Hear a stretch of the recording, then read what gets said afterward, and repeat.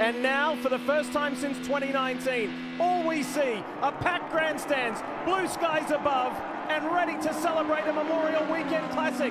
This is, and always will be, the greatest spectacle in racing. This is the Indianapolis 500. The field already spread.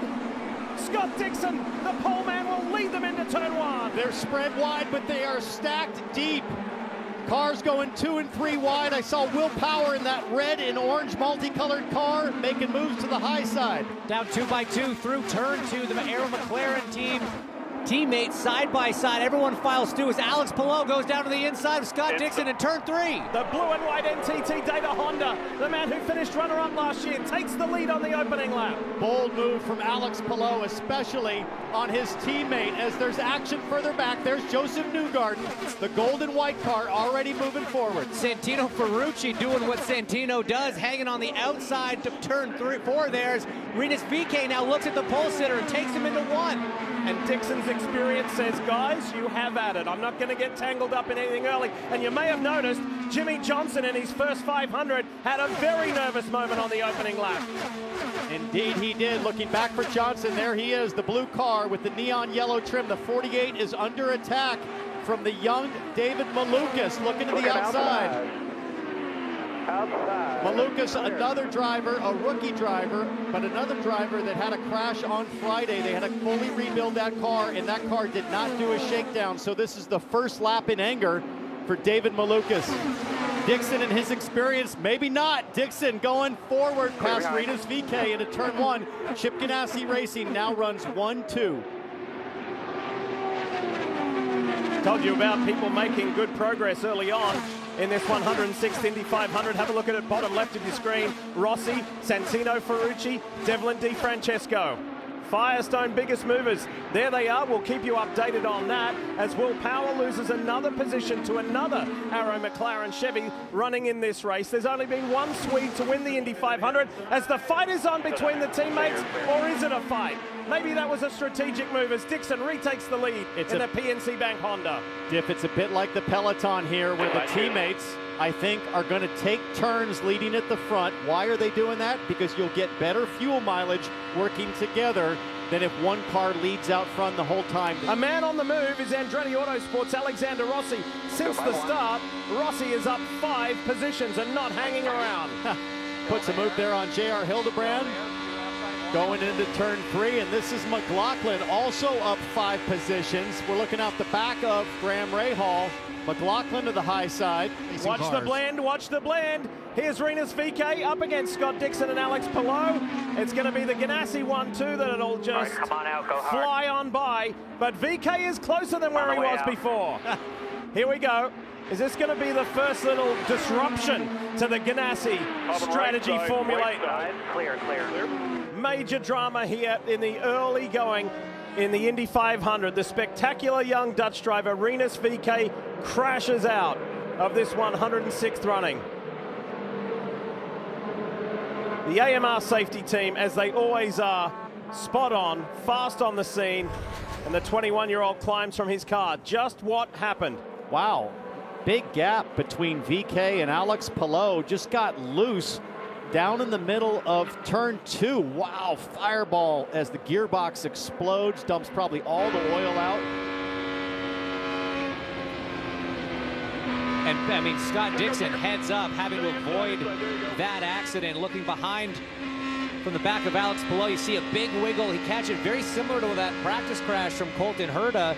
But somebody, Kevin Lee, who wasn't really enjoying things again, was Team Penske's Will Power. Tell us more. He said the car was really good the first half of the first stint, then just went wicked loose. They made changes on the stop, no better. So they came in again under this yellow and then stalled it as well coming back out.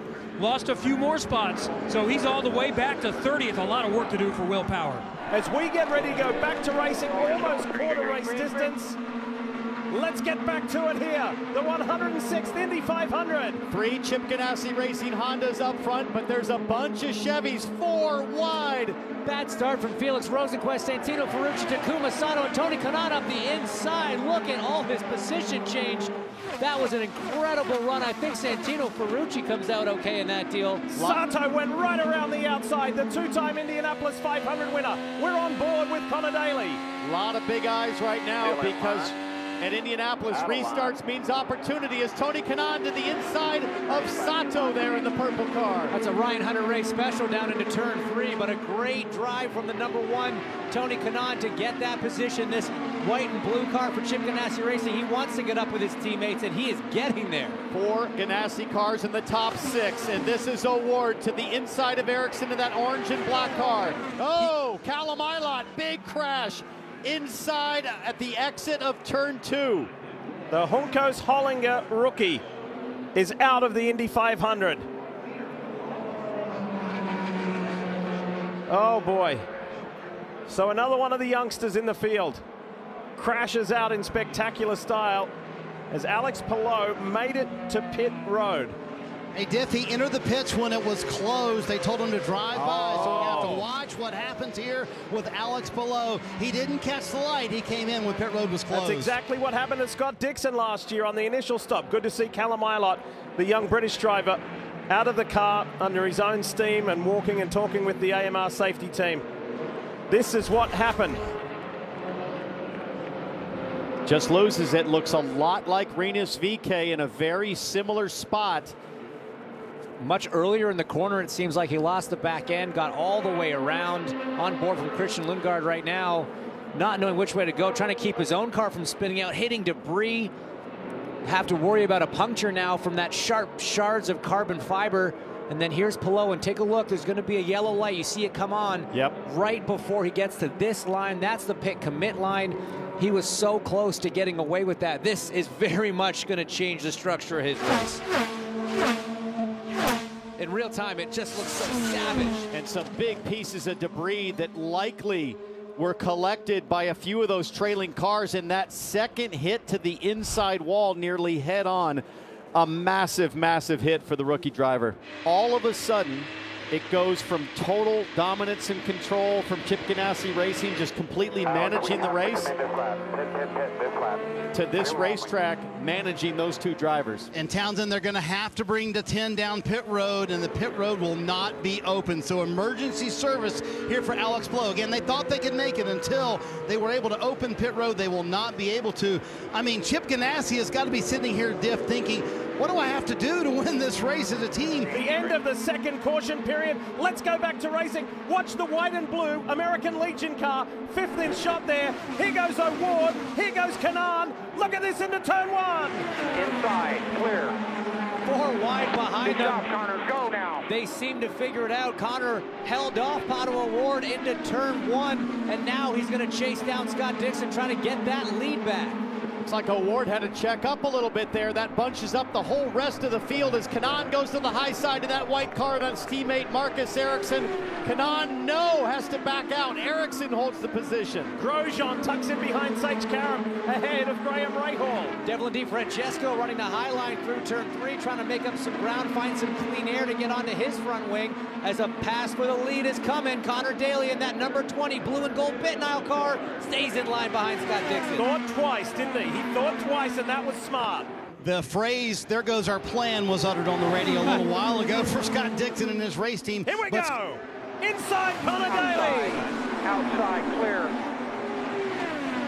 And you can hear the roar from the crowd. They love Conor Daly at the front. This local lad led 40 laps last year, and the crowd loved every single 40. Somehow I think the master, Scott Dixon, knew. Let him go. Let him go for right now. Listen to the crowd.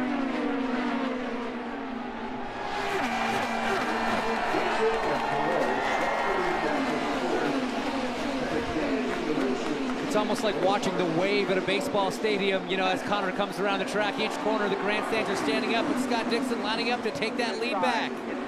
Here goes a move for the lead. Conor Daly goes again. Inside just now. Fairly straightforward. There's the yellow submarine.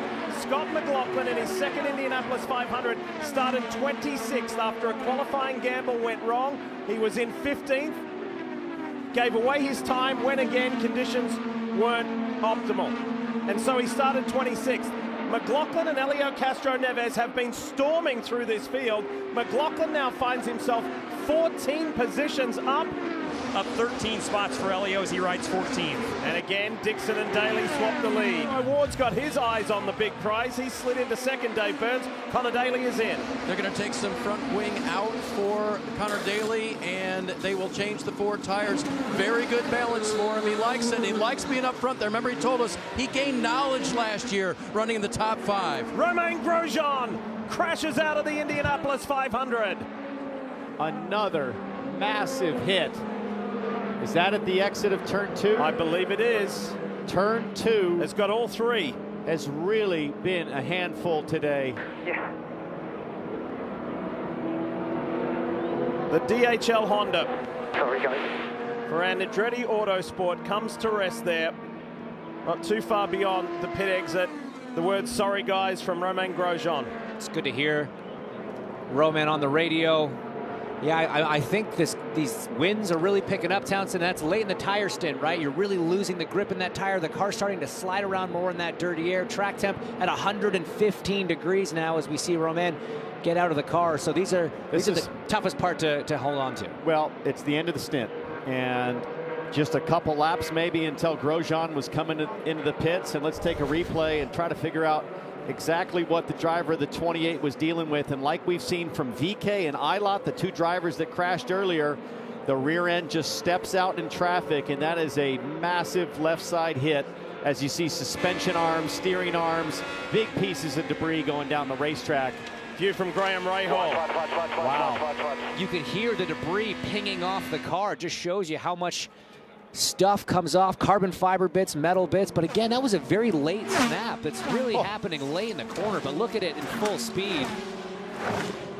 That steering arm, you can just see it bouncing there, lower left-hand corner of the screen. Luckily, nobody hit that because that can go right through an oil cooler, a radiator, take out a wing. Unbelievably, same song, second verse for Chip Ganassi Racing. Scott Dixon was coming down pit road. There you see his wife Emma in angst right now. They were coming down pit road that lap. They are not sure if he can make it back. Just like his teammate Alex Palou earlier in this race, they're not sure if he can make it back before pit road is open. Dixon doing all he can, shades of last year for this race team. And there you go, pits are open. It's going to work out for Dixon. How about that, Div? Wow. Oh boy. And a hometown hero going to take the green. When Conor Daly viewed last year's race and the first time the reaction of the fans seeing him take the lead, he kind of half teared up. Well, no time for tearing up now. It's time to go to work, and you have got Green, Scott green, Dixon green, green. all over your tail. Let's go back racing. Conor Daly in the lead for now. Here comes Dixon. Outside. Incredible jump from Scott Dixon. Pato Pato O'Ward. O'Ward. Santino Ferrucci. My goodness. Around the outside of Scott Dixon. Is it going to work? Wow, brave move from Ferrucci. Are you kidding up there me? Pushing the six-time champ to the high side of turn one. Thought about keeping it there in turn two. Discretion got the better part of Valor's Alexander Rossi in the middle of a three wide down the back straight. Sage Karam and Scott McLaughlin involved there. And while Pablo Montoya was following Karam through, they were just touching the edge of the grass. Ferrucci got up to fourth in that limo tint number 23, and it wasn't enough. He wanted more. Now he has to check up, and here comes Felix Rosenqvist in that used car, but Dixon to the front again. This back and forth, this tag, this is Rosenqvist. Oh! Rosenqvist thought about it on Ferrucci. No chance. So we see the 26 Gainbridge Honda of Colton Herta being pushed back. We're hearing it's a throttle sensor on that car that's creating the issue. Here comes O'Ward. Here we go. And Ferrucci is released as well. But look up at the top of your screen. There goes Pato O'Ward. Dixon off a two. That's speed. That's more of a gap than what Rosenqvist had. Rosenqvist was good, but O'Ward was great on the in and out lap. How does Dixon play this now? As you will have already seen at home, there is a fourth yellow for a fourth crash.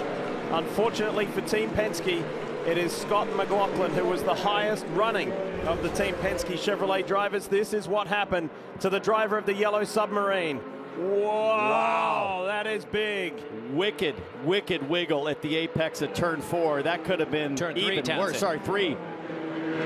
He stopped in turn four because of the speed you're carrying. And I'll tell you what, guys, once you hit the first oh. time and get rid of that, that crash structure, when you go in a second time, the same way Callum Ilott did and the way Scott McLaughlin's doing it right here, that second impact hurts so much. Watch how close Carpenter is. Just stuck to the inside. I'll tell you what, had he not caught that first one and gotten the nose back, it could have looked a lot like your crash in turn three back in the day, James. That was a brutal angle at a huge entry speed. Let's go back here. 43 to go in the Indy 500. It's the Hunger Games in Indy as everybody wants to take advantage of this restart. Four to five wide mid-pack. All clear there. Ericsson and Ferrucci, they go into turn one side by side. But guys, we saw right there as they're mixing it up in the back exactly why Scott Dixon was on the pole. The speed out of that blue and orange PNC Bank car drove right by the McLaren of Pato O'Ward to easily take the point into turn one as they're three Whoa, wide. Sage Karam on the grass. That's Alexander Rossi going three wide into turn three. in the grass after a 30 there. He just turned down on it. So up front, Scott Dixon, Pato O'Ward going at it. O'Ward ducks to the inside. You're clear. No drivers led more laps around the Indianapolis Motor Speedway than Scott Dixon as of today, and I know that There Pato it O'Ward comes. knows that as he's looking now. Bumper coming inside. Scott Dixon back to the front in turn one. 35 laps to go. There he goes, Johnson. You nailed it into pit lane. Oh, O'Ward stays out. Conor Daly looks to be following. Oh, Whoa. Dixon locks up. Is that going to be a pit speed violation? That's the first hiccup we have seen from Scott Dixon today on the final stop of the day. Scott Dixon got caught Drive for through speeding, guys. There you go. He's going to have to serve a drive-through Oh, penalty. my goodness. Unbelievable, Diff. Unbelievable. First of all, it was Alex Palou entering the pits. And Scott Dixon says, Come on, are you serious? And there goes Felix Rosenqvist to the front of the field at the Indy 500. Dixon, bad luck strikes again. Unbelievable. Absolutely devastating. The man that's led more laps around the Indy 500 than any other driver in history sees his chance for a win absolutely disappear. Pulls off into pit lane to serve what's going to be the longest penalty, most painful penalty of his career. They did make Pato aware the nine has served a penalty. Now it's going to be down to him and his teammate Felix Rosenqvist. This is shaping up nicely for the McLaren organization. You see Felix Rosenqvist there entering turn two. He's going to have the lead by a mile behind him. The red and white Huski Chocolates car of Marcus Ericsson. Here's the pit time difference. Rosenqvist winning on the in lap. Time on pit lane, time in the box. Except the out lap. O'Ward got it by a tenth as Ericsson just got past Pato O'Ward. Chip Ganassi Racing still has a chance. Penalties to Palou and Dixon took them out of the mix. This is Ericsson. Group Here on we strategy. go. Ericsson to the inside. This Huski Chocolate Honda is flying. Oh, a crash. Jimmie Johnson in the Whoa! wall. And this could change everything. Marcus Ericsson's teammate, Jimmie Johnson. This will bring out the yellow with six to go. And we might see, Yeah, tough one. we might see a red flag. It is possible. It's been done before. A red flag could completely change the outcome of this race. Jimmie Johnson, we see him moving. That looks like a big hit on the front end, though, Townsend. That's a very square collision, it looks like. Again, off of turn two. It's just been the, the corner that's caught out the most drivers today. Difficult conditions. The AMR safety team on the scene. See Jimmie moving in the cockpit, working to get out. And But this is- yeah, is- huge front end impact, Diff. This is something that was heavily discussed with his wife Chani and their daughters about, you know, does he want to do IndyCar ovals? And he said absolutely. And he ran just so well at Texas Motor Speedway earlier this year. Was gaining a lot of experience in his first Indy 500. Led a lap. What happened to Jimmie Johnson?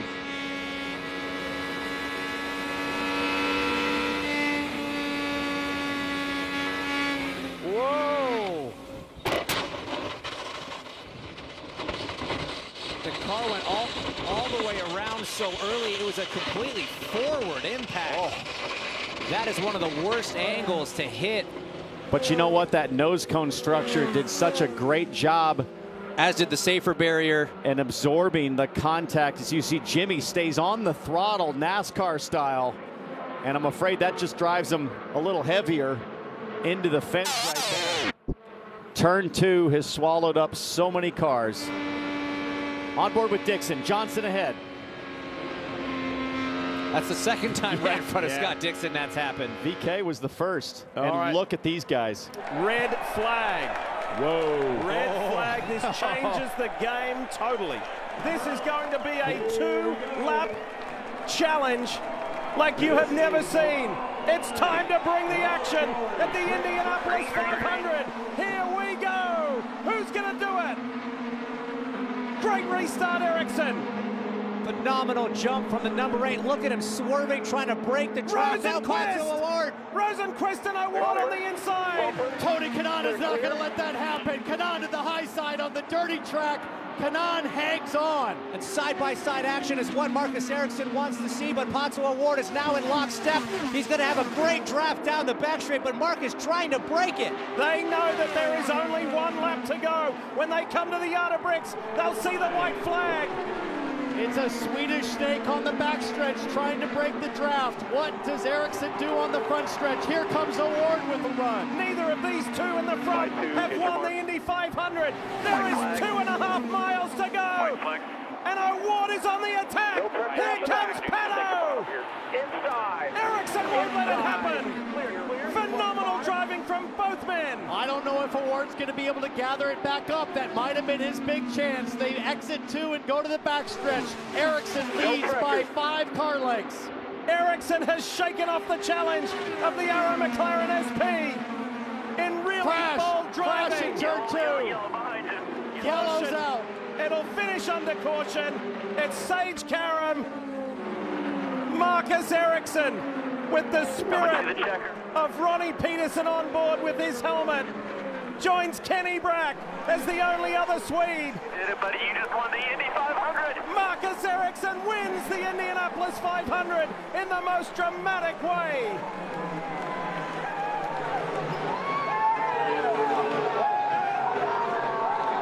You want to talk about mental fortitude. Think about what this driver just went through in the last 10 minutes. Leading easily, red flag comes out, has to restart. Indy 500.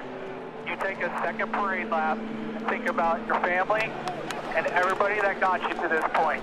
You are an Indy 500